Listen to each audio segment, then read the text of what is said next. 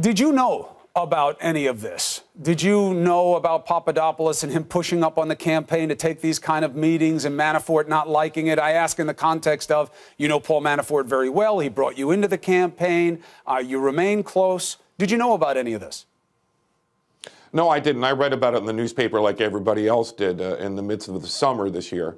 Um, and in fact, I, I, I, never heard of Papadopoulos. He never showed up at Trump Tower, never had any interaction with any of the campaign leaders around me.